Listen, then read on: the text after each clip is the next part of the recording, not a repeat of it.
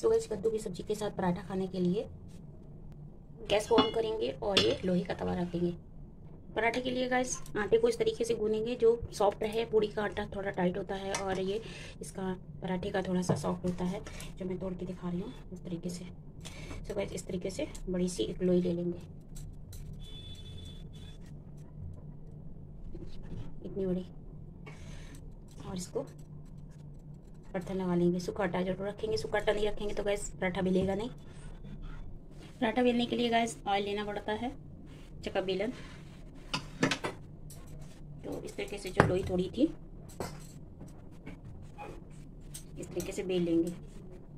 तो बेलने के बाद सूखा आटा फिर लगा लेंगे और ये रख लेंगे और गैस इसके ऊपर ऑयल लगाएँगे।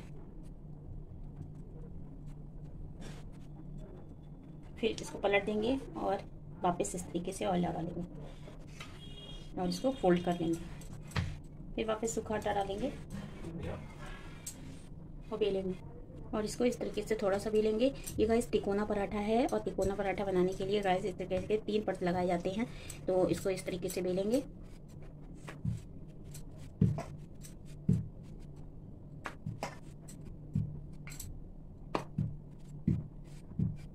कंप्लीट बिल गया है। तवा गर्म हो चुका है और फिर थोड़ा सा ऑयल लगाएँगे।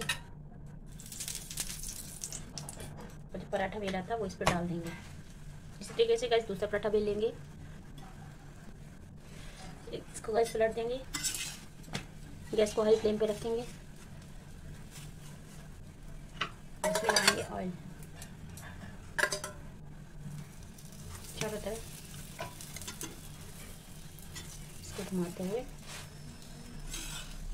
इसको पलट देंगे। फिर इसमें लगाएँगे। इस तरीके से। दबाते हुए।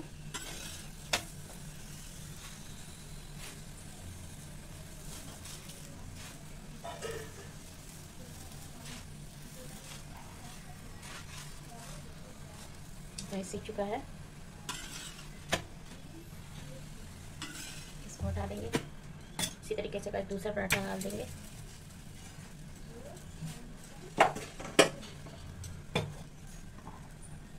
इसके चारों तरफ़ घी डालेंगे।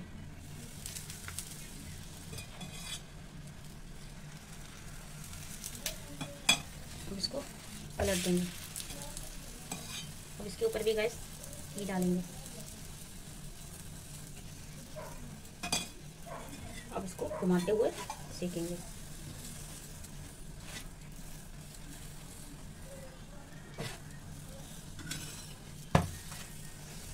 गैस को लो फ्लेम पे कर देंगे।